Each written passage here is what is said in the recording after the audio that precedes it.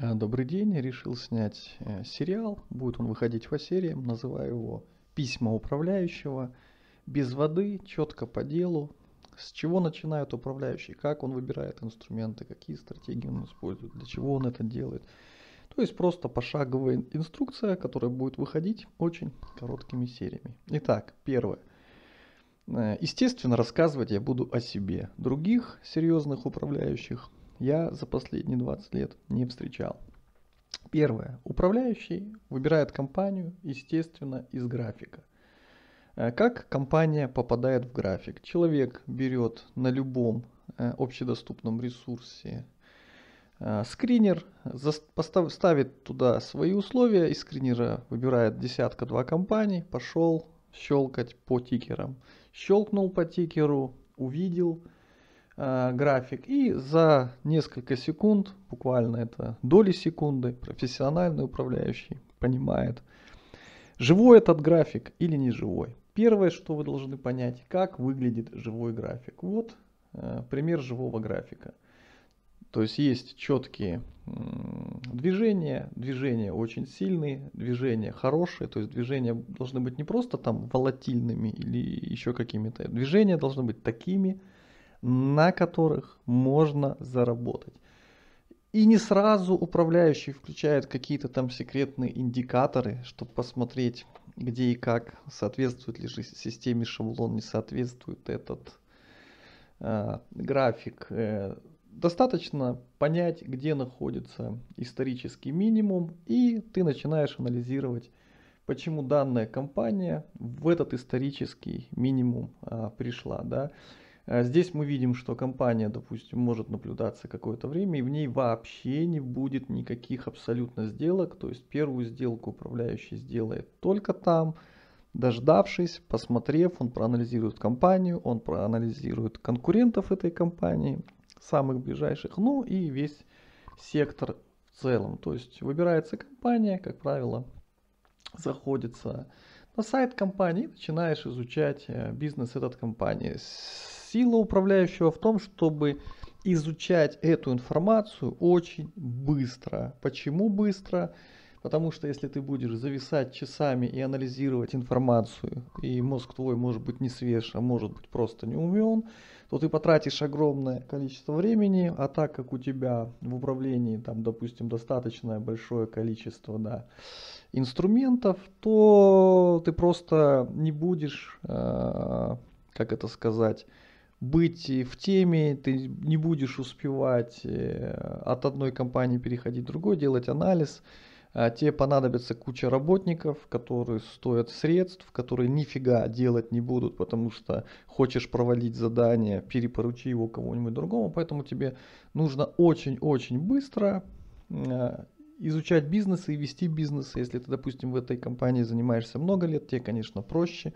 Э, ты уже знаешь, где какие были э, дополнительные выпуски акций, где были какие-то обратные сплиты, что происходило с этой компанией. Возможно, она там раз в 30 лет банкротилась, ты историю уже хорошо знаешь, ты уже понимаешь, как работает менеджмент компании, какие у них цели. Но первичное ознакомление, естественно, идется из официальных источников. То есть, допустим, компания, которая занимается перевозками, нужно просто проанализировать ее флот. То есть э, чем этот флот занимается, э, что он переводит, где-то он переводит нефть, где-то он переводит, перевозит продукты, да, то есть, как, как правило, компании, которые занимаются перевозками э, жидких нефтепродуктов различных, а где-то, возможно, и газовых. То есть данная, допустим, компания может иметь флот не только там нефтяной или еще какой-то, но какие-то компании имеют и газовые. Ты смотришь по отраслям, на чем они больше зарабатывают, на чем они меньше. Ну и здесь, естественно, эти компании не так сложно анализировать. Они зависят от ренты. То есть в этих компаниях достаточно смотреть, как изменяется рента и под какую ренту, где что у них заключены, какие договора. Естественно, смотришь, чем они готовы хвастаться. То есть берешь всякие презентации, их просматриваешь пролистываешь, чем они хвастаются, э, чем они считают, что они лучше э, конкурентов. Затем, естественно, переходишь э, к основному разделу, куда они обязаны выкладывать все изменения у них происходящие, особенно в финансовой сфере. Также никогда не пропускаешь ни даты отсечки дивидендов, ни выходы квартальных отчетов, уж тем более каких-нибудь годовых отчетов. Естественно, смотришь, что они зарабатывают, как они зарабатывают, на чем они зарабатывают, куда они двигаются, как они развиваются, какие суда сокращают, какие суда наращивают.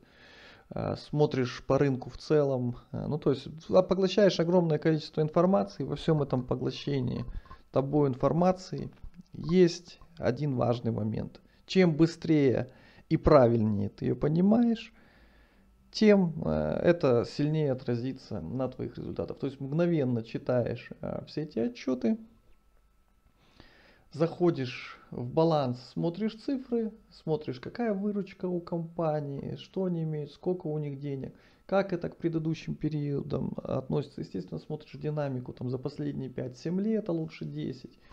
А смотришь, сколько стоят их суда, сколько они имеют, как они выплачивают дивиденды, почему они их повышают или почему они их эти дивиденды сокращают, смотришь э, их э, долговую базу, чего они там должны, и каково, естественно, equity, которое полагается акционерам, какая разница между их, грубо говоря, имуществом и их долгами, и все это есть та цена, которую в данный момент получают акционеры. Естественно, это плавающая величина, то есть потому что они грубо говоря, цена то вверх, то вниз ходит, и тебе нужно эту компанию в какой-то определенный момент купить. И когда ты уже делаешь первый вход, только после этого начинаются стратегии, методики, системы. После того, как ты проанализировал прибыль, не прибыль, что-то распределяют, куда движутся, зачем они движутся какие вот у них танкеры, где эти чартеры, сколько этот чартер весит у них, да, и какая у них выручка, какие у них затраты. Потому что есть компании, у них, допустим, хорошие контракты, большая выручка, допустим, на танкер, но у них по этим танкерам и затраты какие-нибудь высокие. Есть компании, которые ежегодно модернизируют, э, там, улучшают, или которых более современные суда, у них просто затраты ниже. Они могут выходить на рынки, на рынки, демпинговать, за более низкие контракты заключать перевозки, потому что они будут иметь прибыль, а своих конкурентов они уничтожат, которые не могут опуститься ниже своих затрат. То есть все это вы должны понимать, все это должны э, анализировать. Если у вас в блоке не только компании, перевозки, есть контейнерные перевозки, там, другие транспортные компании, есть производители чего-то, есть производители, добытчики угля, есть добытчики газов, то вы должны освоить все эти, не только балансы, ну и примерно все эти отрасли, понимать, где что, для чего они покупают, продают, кто их контрактует, то есть э, почему выбрана компания, потому что одной компании может быть на 5-6 лет все суда зафрахтованы, а у другой весь фрахт заканчивается в ближайшие там полгода, и перспективы дальнейшего заключения, допустим, по судам у них а, достаточно проблемные.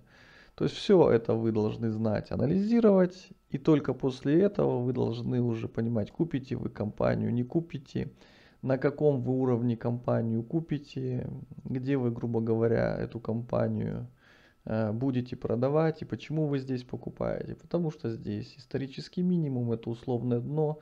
Если пойдет ниже, то с широким шагом делаете набор компаний, вы понимаете, ниже каких пресловутых цен она не должна идти, ну и тем более вы понимаете, куда эта компания должна уйти, где должен быть ее примерно рост, какие вы цели знаете, и вы на каждую сделку уже можете, допустим, закладывать достаточную прибыль. Ну здесь вот уже порядка, наверное, 20%, 25% прибыль в долларах за достаточно короткий срок, допустим, на сделку, да.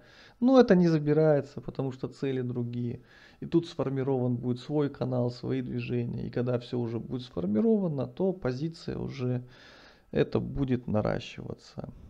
Всего доброго, спасибо за внимание. Коротко не получилось.